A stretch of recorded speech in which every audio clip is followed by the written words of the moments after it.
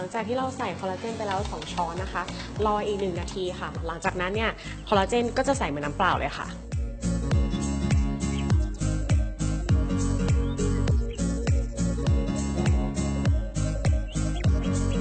ไม่มีสีไม่มีน้ำตาล ถูกต้องและปลอดภัยค่ะ